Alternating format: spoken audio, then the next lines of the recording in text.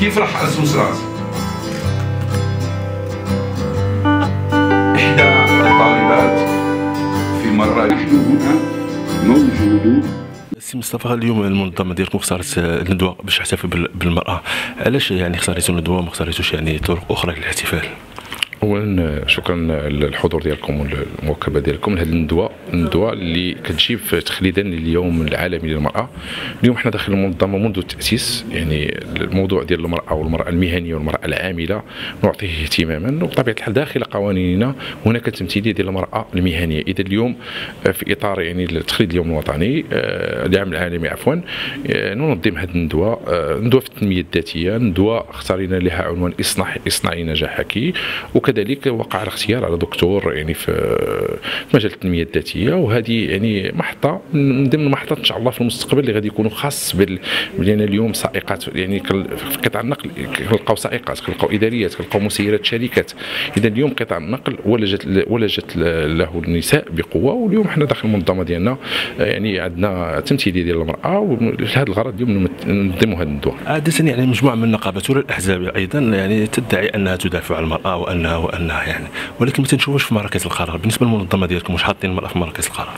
بطبيعة الحال إحنا أول منظمة. أعتقد باش ما نكونش يعني خاطئ في يعني في الكلام ديالي أن أول مرأة آه، توجد في مركز قرارها امرأة. يعني داخل المكتب آه، داخل مكتب الأمانة العامة كجهاز تنفيذي هناك يعني مرأة تمثل يعني المرأة. وبطبيعة الحال تأخذ القرار في كل قطع قطعة ديال النقل. يعني والمكاتب الوطنية كل المكاتب الوطنية اللي تابعة للمنظمة الديمقراطيه للنقل واللوجستيك كتواجد يعني كيتواجد العنصر النسوي بقوة إما بممثل بامراه أو امرأتين أو أو ثلاث في مكتب وطني ديال يعني ديال لمهنيات ومهني آه، لمراكز التكوين.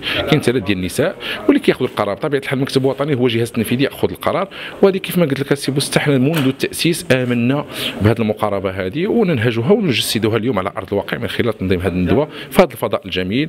وفي هذه الظروف آه، يعني آه، يعني الجميلة كذلك. الندوة الآن اللي درتي مع المنظمة الديمقراطية للنقل واللوجستيك متعدد الوسائط حول المرأة بمناسبة اليوم العالمي للمرأة يعني اخترتي لها عنوان اصنعي نجاحك يعني كيف تصنع المرأة نجاحها؟ آه، بداية يجب التأكيد على أن آه، المرأة العربية وخاصة المرأة المغربية هي مرأة ذات بصمات مميزة في الحياة وعبر التاريخ سواء التاريخ ال- ال- ال- القديم أو الحديث أو حتى المعاصر.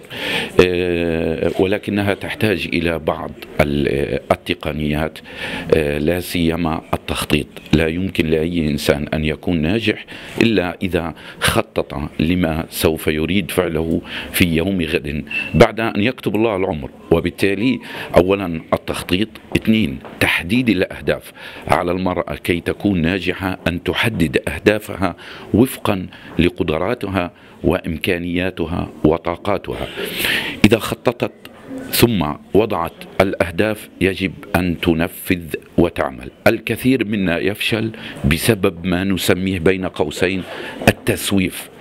الذي يؤجل عمل اليوم إلى غد. سأبدأ سأفعل. لا أنت خططت أنت لديك أهداف. إذا يجب أن تعمل. وأنا أرى أن المرأة المغربية خاصة المرأة العاملة والمرأة المهنية جديرة بأن يتم تأطيرها وتنمية قدراتها.